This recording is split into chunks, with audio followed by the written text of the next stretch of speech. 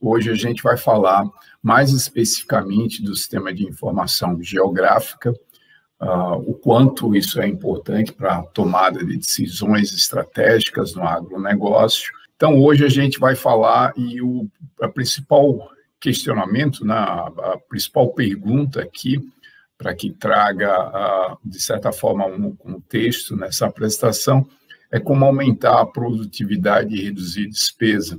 Eu acho que essa é a questão que a maioria dos uh, do agronegócio, né, principalmente dos consultores, uh, apresentam para as empresas como aumentar essa produtividade utilizando tecnologias digitais e com isso essa produtividade melhorar as receitas e que essas receitas elas vão de certa forma né, gerar lucros e esses lucros têm que também estar tá, uh, de certa forma alinhados com a redução de, de despesas, né? E essas despesas é onde a parte de sensoramento remoto pode auxiliar na questão de pesticidas, entre outras, uh, entre outros pontos.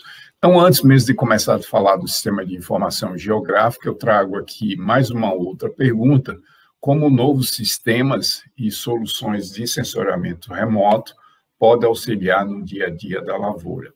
Entenda-se aqui sensoramento remoto a técnica ou a ciência, né, eu gosto de utilizar como uma ferramenta em que eu extraio, ou em que eu, o usuário extrai informação sem contato direto com o objeto.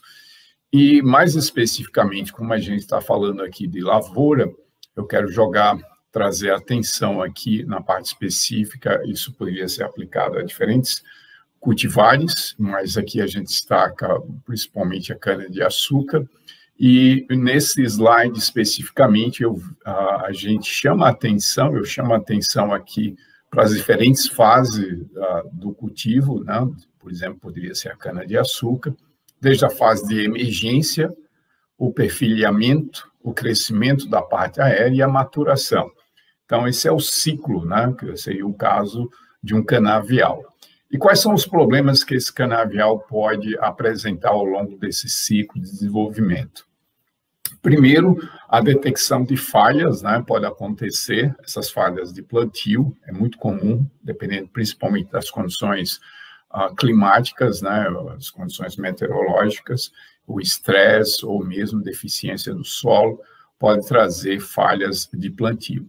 Um segundo ponto, um segundo problema nessa fase de desenvolvimento do, do cultivar, do canavial, é a detecção e classificação das plantas daninhas. Esse é um outro problema também muito comum durante esse ciclo de desenvolvimento. O terceiro, a gente considera como a estimativa da produção e o monitoramento do crescimento. Então, é importante acompanhar toda essa fase, né? Porque no, no final, a, aquilo que eu falei inicialmente, o, o produtor quer melhorar essa produtividade.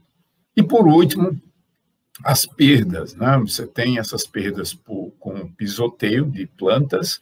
Então, essas quatro, quatro problemas, elas são muito comuns em canaviais e em outros, em outros cultivares. E, e, como, e qual é a solução, né? Como resolver esses problemas? Bom, para que quando a gente ah, propõe aqui uma solução, a gente está falando de manejo preciso e em escala, né? E aí é onde a parte do sistema de informação geográfica, tudo que eu estou apresentando aqui é uma preparação para a gente trazer a ferramenta uh, SIG, né? Então, as soluções para aqueles quatro problemas uh, destacados no slide anterior é que as falhas e linhas básicas de plantio, o que fazer nesse caso? Primeiro, deve-se analisar as linhas e as falhas de plantio, o processamento de imagem, né, ou seja, a tecnologia digital uh, das áreas, aplicadas às áreas, ela vai fazer com que você tenha mais rapidez e precisão, gerando informações para planejar e executar operações de replantio mais eficientes. Benefícios, né, com, quando você utiliza essas tecnologias digitais. Você aumenta né, a rentabilidade da lavoura, quando a gente fala rentabilidade aqui, basicamente a gente volta a destacar a produtividade, né, que é o que, no final, o agricultor busca, e o aumento dessa produtividade, a gente está olhando isso de uma forma para cada talhão, né? ou seja, dependendo de como está é, tá essa condição do talhão, e normalmente os olhos não conseguem ver essas falhas e, e, e esses problemas, por isso a, a, importância de se aplicar o sistema de informação. E nesse sentido, a gente traz também para a detecção de, de plantas né, daninhas por drones uh, e por satélite. Então, nesse caso aqui, especificamente por drones, o que, que eles uh, fazem, né? qual a importância da utilização, nesse caso, uh, de, de, detecção e monitoramento das plantas daninhas. Primeiro, você precisa detectar e, ma e mapear a infestação de lavouras, né?